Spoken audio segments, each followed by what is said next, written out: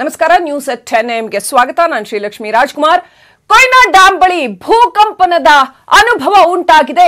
ನೂರ ಐದು ಟಿಎಂಸಿ ನೀರು ಸಾಮರ್ಥ್ಯ, ಸಂಗ್ರಹ ಸಾಮರ್ಥ್ಯ ಇರತಕ್ಕಂತಹ ಡ್ಯಾಮ್ ಇದು. ಕೊಯ್ನಾ ಡ್ಯಾಮ್ ಕೃಷ್ಣಾ ನದಿಗೆ ಅಡ್ಡಲಾಗಿ ಕಟ್ಟಿರ್ತಕ್ಕಂತಹ ಕೊಯ್ನಾ ಡ್ಯಾಂ ಬಳಿ ಭೂಕಂಪನದ ಅನುಭವ ಉಂಟಾಗಿದೆ. ಕೊಯ್ನಾ ಡ್ಯಾಂ ಆಲ್ರೆಡಿ ಕೃಷ್ಣಾ ನದಿಯಲ್ಲಿ ಸಾಕಷ್ಟು ನೀರಿನ ಹರಿವು ಅತ್ಯಂತ ಹೆಚ್ಚಾಗಿರ್ತಕ್ಕಂಥದ್ದು. ಕೊಯ್ನಾ ಡ್ಯಾಮ್ ಹತ್ರ ಭೂಕಂಪನದ ಅನುಭವ ಉಂಟಾಗಿದೆಯಂತೆ. ಸೊ ಡ್ಯಾಮ್ನ ಸಾಮರ್ಥ್ಯ ಎಷ್ಟಿದೆ? ಡ್ಯಾಮ್ಗಳನ್ನ ಬಹಳ ಶಿಸ್ತುಬದ್ಧವಾಗಿ ಕಟ್ಟಲಾಗಿರುತ್ತೆ. ಆದರೆ ಭೂಕಂಪನದ ಅನುಭವ ಉಂಟಾದ ಹಿನ್ನೆಲೆಯಲ್ಲಿ ಸ್ವಲ್ಪ ಆತಂಕ ಉಂಟಾಗಿದೆ. ಕೊಯ್ನಾ ಡ್ಯಾಮ್ಗೆ ಧಕ್ಕೆ ಆದರೆ ಭಾರಿ ಅಪಾಯ ಉಂಟಾಗತ್ತೆ.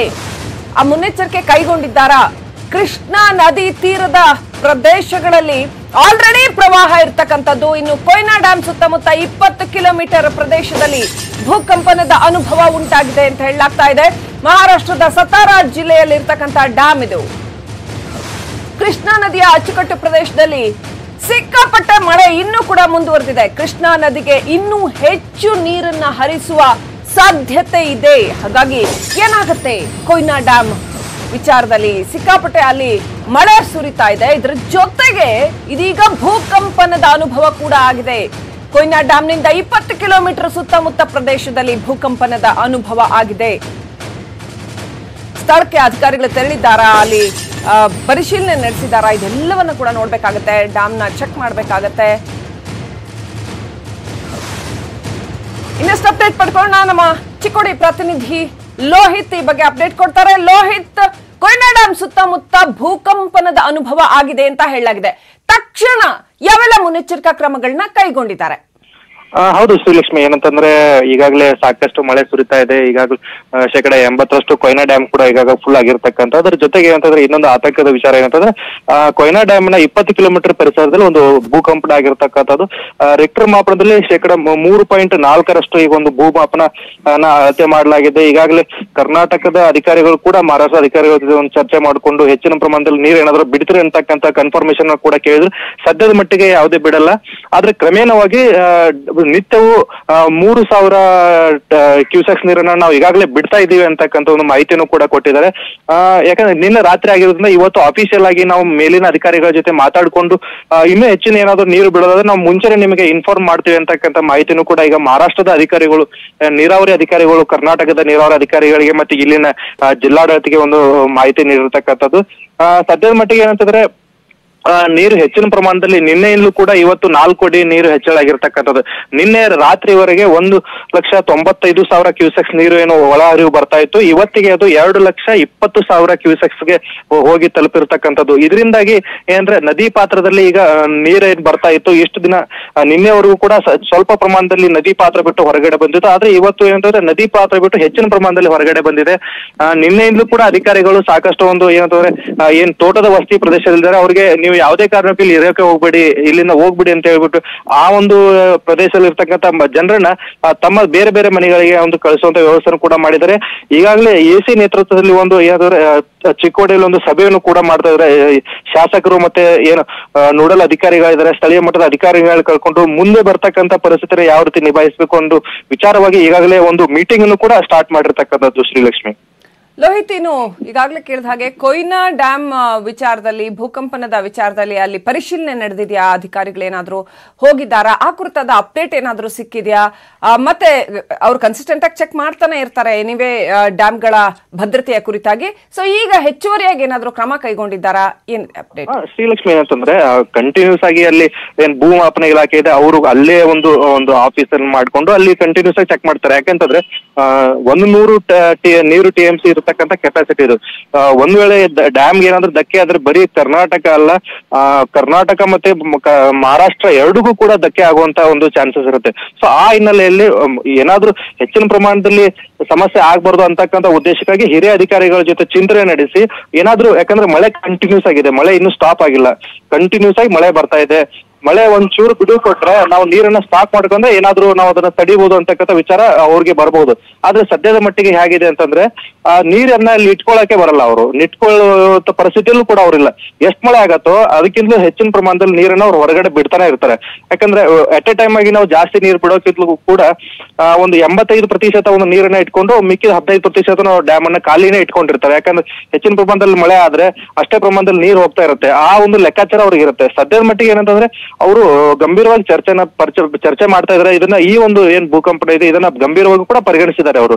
ಸೊ ಹೆಚ್ಚಿನ ವಿಚಾರವಾಗಿ ಮೇಲಾಧಿಕಾರಿಗಳ ಜೊತೆ ಮಾತಾಡ್ಕೊಂಡು ಇನ್ನೂ ಏನಾದ್ರು ಹೆಚ್ಚಿನ ನೀರು ಬಿಡ್ಬೇಕಾ ಅನ್ನುವಂತ ವಿಚಾರವನ್ನ ಈಗ ಮಾಡ್ತಾ ಇದ್ದಾರೆ ಸೊ ಮಧ್ಯಾಹ್ನದ ವೇಳೆಗೆ ಅದು ಕ್ಲಿಯರ್ ಆಗುತ್ತೆ. ಹೆಚ್ಚಿನ ಪ್ರಮಾಣದಲ್ಲಿ ನೀರು ಬಿಡ್ಬೇಕಾ ಅಥವಾ ಬೇಡವಾ ಅನ್ನುವಂಥದ್ದು. ಅದು ಲೋಹಿತ್ ನೀರಿನ ಹೆಚ್ಚುವರಿ ಹರಿವಿನ ವಿಚಾರ ಇರಬಹುದು ಅಥವಾ ಭೂಕಂಪನದ ಹಿನ್ನೆಲೆಯಲ್ಲಿ ಇರಬಹುದು. ಬೆಳಗಾವಿಯ ಜಿಲ್ಲಾಡಳಿತ ನಮ್ಮ ಭಾಗದ, ಕರ್ನಾಟಕ ಭಾಗದ ಮುನ್ನೆಚ್ಚರಿಕಾ ಕ್ರಮವನ್ನು ಕೈಗೊಳ್ಳೋದಕ್ಕೆ ಎಲ್ಲ ಸಿದ್ಧತೆಗಳನ್ನು ನಡೆಸಿದೆಯಾ? ಎಷ್ಟರ ಮಟ್ಟಿಗೆ ಎಚ್ಚರಿಕೆಯಿಂದ ಇದೆ ಬೆಳಗಾವಿ ಜಿಲ್ಲಾಡಳಿತ? ಯಾಕಂದ್ರೆ ಕಳೆದ ಹಲವು ದಿನಗಳಿಂದ ಇಲ್ಲಿ ಸಿಕ್ಕಾಪಟ್ಟೆ ಯಾರೂ ನಿರೀಕ್ಷಿಸಲಾರದಷ್ಟು ದೊಡ್ಡ ಪ್ರಮಾಣದಲ್ಲಿ ಪ್ರವಾಹದ ರೀತಿ, ನೆರೆ ರೀತಿನೆಲ್ಲ ಆಗಿದೆ hang on Lohith hang on ಭೂ ವಿಜ್ಞಾನಿಗಳಾಗಿರ್ತಕ್ಕಂತ ಅನಂತರಾಮ್ ಅವ್ರು ನಮ್ಮ ಜೊತೆ ಫೋನ್ ಸಂಪರ್ಕದಲ್ಲಿದ್ದಾರೆ ಸರ್ ನಮಸ್ಕಾರ. ನಮಸ್ಕಾರ. ಸರ್ ಕೊಯ್ನಾ ಡ್ಯಾಮ್ ಸುತ್ತಮುತ್ತ ಇಪ್ಪತ್ತು ಕಿಲೋಮೀಟರ್ ಪ್ರದೇಶದಲ್ಲಿ ಭೂಕಂಪನದ ಅನುಭವ ಆಗಿದೆ ಅಂತ ಹೇಳುವಂತದ್ದು ಅದು ಎಷ್ಟು ರಿಕ್ಟರ್ ಮಾಪಕದಲ್ಲಿ ಅದು ಎಷ್ಟು ತೀವ್ರತೆ ಇದೆ ಇದೆಲ್ಲ ಡೀಟೇಲ್ಸ್ ಇನ್ನಷ್ಟೇ ಬರಬೇಕಾಗಿದೆ. ಹೌದೌದು. ಏನಾಗುತ್ತೆ ಇಂತಹ ಸಂದರ್ಭಗಳಲ್ಲಿ ಅಂತ ಏನ್ ಹೇಳುವ ಅಲ್ಲ ವಾಸ್ತವವಾಗಿ ಭೂಕಂಪನ ಆಗೋದಕ್ಕೆ ಆ ನೆಲದ ಒಳಗಡೆ ಇರುವಂತಹ ಲಕ್ಷಣ ಕೂಡ ಕಾರಣ ಆಗ್ಬೋದು ಬಟ್ ಕೊಯ್ನಾ ಡ್ಯಾಮ್ ಇದೆ ಅಲ್ಲಿ. ಕೊಯ್ನಾ ಡ್ಯಾಮ್ ಅಂತ ಇದೆ ಅಲ್ಲಿ ಆ ಅಣೆಕಟ್ಟಲ್ಲಿ ಸಂಗ್ರಹವಾಗುವ ನೀರಿದೆಯಲ್ಲ ಆ ನೀರಿನ ಒತ್ತಡ ಭೂಮಿಯ ಒಳಗಡೆ ಇರೋ ಬಿರುಕನ್ನ ಜಾಸ್ತಿ ಬೇಗ ಬಿರುಕು ಜಾಸ್ತಿ ಮಾಡ್ತಾ ಇದೆ ಅಂತ ಬಿಟ್ಟು ಹಿಂದೆ ಎಲ್ಲ ತುಂಬಾ ಅದು ಭೂಕಂಪನ ವಲಯದಲ್ಲೇ ಬರುವಂತಹ ಒಂದು ಸ್ಟ್ರಕ್ಚರ್ ರಚನೆ. ಹೀಗಾಗಿ ಇಂಡಿಯಾದಲ್ಲಿ ಫಸ್ಟ್ ಕೊಯ್ನಾದಲ್ಲಿ ಈ ತರ ಆದಾಗ ಇಂಡಿಯಾದಲ್ಲಿ ಬೇರೆ ಬೇರೆ ಡ್ಯಾಮ್ನಲ್ಲಿ ಎಲ್ಲೆಲ್ಲಿ ಆಗ್ತಾ ಇದೆ ಅದ್ರ ನೆಲದ ಲಕ್ಷಣ ಏನು ಅಂತ ಅಧ್ಯಯನ ಮಾಡೋದಕ್ಕೆ ಕೊಯ್ನಾ ಭೂಕಂಪನೇ ನಮ್ಗೆ ಮೂಲ ಇದು ಕೊಟ್ಟಿದ್ದದು. ಆ ಇಂಗ್ಲಿಷ್ ನಲ್ಲೂ ಕೂಡ ಒಂದು ಗಾದೆ ಇದೆ fill the lake and cause the quake ಅಂತ. ಅಂದ್ರೆ ಒಂದು ಅಣೆಕಟ್ಟಿನಲ್ಲಿ ನೀರ್ ತುಂಬಾ ತುಂಬಿ ಕೆಳಗಡೆ ಭೂಕಂಪನ ಆಗೋದನ್ನ ಅನುಭವಿಸಿ ಅಂತ ಹೇಳಿ. ಅಂದ್ರೆ ಇಷ್ಟೇನೆ ನೀರು ಕೂಡ ಒತ್ತಡ ಬೀರಿ ಅಲ್ಲಿ ಏನಾದ್ರು ದುರ್ಬಲ ವಲಯಗಳಿದ್ರೆ ಅಲ್ಲಿ ಭೂಕಂಪನಾಗ ಸಾಧ್ಯತೆ ಇದೆ ಅಂತ ಮೊದಲು ನಮಗೆ ಗೊತ್ತಾಗಿದೆ ಕೊಯ್ನಾ ಮಹಾರಾಷ್ಟ್ರದ ಭೂಕಂಪದಿಂದನ ಇದು ತೀರಾ ಹೊಸದಲ್ಲ. ಅಂದ್ರೆ ಆಮೇಲೆ ಅತ್ಯಂತ ಸಾವು ನೋವಿನ ಪ್ರಕರಣ ಕೂಡ ಲಾಗಿಲ್ಲ ಹಿಂದೆ ಅದು ಭೂಕಂಪನ ವಲಯದ ಒಂದು ಇದು ಪಟ್ಟಿನಲ್ಲೇ ಬರುತ್ತೆ ಕೊಯ್ನಾ. ಕೊಯ್ನಾ ನದಿ ಕೊಯ್ನಾ ಅಣೆಕಟ್ಟು ಎಲ್ಲನ.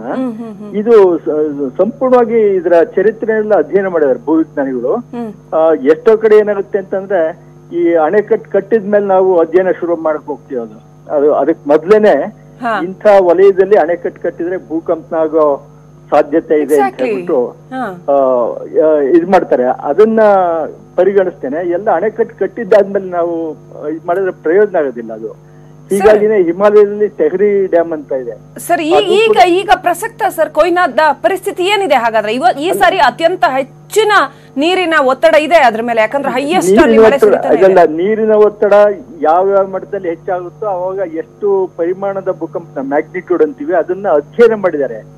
ಬಹುಶಃ ವಿಜ್ಞಾನಕ್ಕೆ ಇದು ಹೊಸದಲ್ಲ ಆದ್ರೆ ಜನಕ್ಕೆ ಭೂಕಂಪನ ಅಂದ್ರೆ ಖಂಡಿತನ ಅದೊಂದು ಭಯದ ವಾತಾವರಣ ಸೃಷ್ಟಿ ಆದೇ ಆಗುತ್ತೆ ಅದು.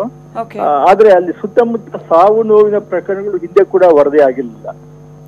ಸರ್ ಭೂಕಂಪನದ ತೀವ್ರತೆ ಏನಾದ್ರೂ ಜಾಸ್ತಿ ಆದ್ರೆ ಡ್ಯಾಮ್ಗೆ ಅಪಾಯ ಅಲ್ವಾ? ಅಂದ್ರೆ ಭೂಕಂಪ ತೀವ್ರತೆಯನ್ನಲ್ಲ ಅದನ್ನ ತೀವ್ರತೆನೇ ನಾವು ಇಂಟೆನ್ಸಿಟಿ ಅಂತೀವಿ. ಸಾಮಾನ್ಯವಾಗಿ ಭೂಕಂಪನ ಎಷ್ಟು ಶಕ್ತಿ ಬಿಡುಗಡೆ ಮಾಡುತ್ತೆ ಅನ್ನೋದನ್ನ ಮ್ಯಾಗ್ನಿಟ್ಯೂಡ್ ಅಂತೀವಿ ಅಂದ್ರೆ ಪರಿಮಾಣ. ಅಂದ್ರೆ ಪ್ರಮಾಣ ಅಂತ ಹೇಳ್ಬಿಟ್ಟು. ಅದು ಜಾಸ್ತಿ ಆದ್ರೆ ಖಂಡಿತನ ಅಣೆಕಟ್ಟುಗಳಿಗೆ ತೊಂದರೆನೇ ಆಗುತ್ತೆ ಅದು. ಆರು ಪಾಯಿಂಟ್ ಐದು ಸ್ಕೇಲ್ನಲ್ಲಿ ರಿಕ್ಟರ್ ಸ್ಕೇಲ್ನಲ್ಲಿ ಅದಕ್ಕಿಂತ ಜಾಸ್ತಿ ಆದ್ರೆ ಅಣೆಕಟ್ಟಿಗೆ ಕೂಡ ಅಪಾಯ ಆಗಂತ ಸಂಭವ ಇದ್ದೇ ಇರುತ್ತದೆ ಇದ್ದೇ. ಇರುತ್ತದೆ. ಹೌದು. ಓಕೆ. ಥ್ಯಾಂಕ್ ಯು ಅನಂತರಾಮ್ ಅವರೇ. ನ್ಯೂಸ್ ಏಟಿನೊಂದಿಗೆ ಮಾತನಾಡಿದಕ್ಕೆ ಹಾಗೆಯೇ thank you Lohith for the information ಕೊಯ್ನಾದ ಕಥೆಯನ್ನ ಹೇಳ್ತಾ ಇದ್ರು. ಅಲ್ಲಿ ಭೂಕಂಪನ ವಲಯ ಬರುತ್ತೆ, ನೀರಿನ ಒತ್ತಡ ಜಾಸ್ತಿ ಆದಾಗ ಈ ತರ ಕಂಪನಗಳು ಉಂಟಾಗುವ ಸಾಧ್ಯತೆಗಳಿದೆ ಅನ್ನುವಂಥದ್ದನ್ನು ಕೂಡ ಹೇಳ್ತಾ ಇದ್ರು. ಒಟ್ಟಾರೆ ಬಹಳ ಬಹಳ ಸೂಕ್ಷ್ಮ ಸನ್ನಿವೇಶದಲ್ಲಿ ಕೊಯ್ನಾ ಪರಿಸ್ಥಿತಿ ಇದೆ, ಇದು ವಿಜ್ಞಾನಕ್ಕೆ ಹೊಸತಲ್ಲ ಅನ್ನೋದನ್ನ ಹೇಳಿದ್ರು. ಹಿಂದೆ ಕೂಡ ಸಾಕಷ್ಟು ಬಾರಿ ಈ ತರ ಆಗಿದೆ ಅಂತ ಎಚ್ಚೆತ್ಕೊಂಡಿದ್ದಾರಾ? ಮಹಾರಾಷ್ಟ್ರದ ಆಡಳಿತ ಎಚ್ಚೆತ್ಕೊಂಡಿದ್ಯಾ? ಗೊತ್ತಿಲ್ಲ. ಮತ್ತೆ ಮತ್ತೆ ಭಯ ಹುಟ್ಟಿಸ್ತಾ ಇದೆ. ಮೆಟ್ರೋ ಮೆಟ್ರೋ ಪಿಲ್ಲರ್ಗಳನ್ನ ನಂಬೋದು ಹೇಗೆ?